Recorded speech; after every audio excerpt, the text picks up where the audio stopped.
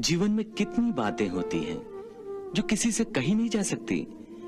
केवल मित्र के आगे इंसान अपनी छाती फाड़ कर ही अपना दुख, अपना सुख बांट सकता है। अपने परिवार का, अपने संसार का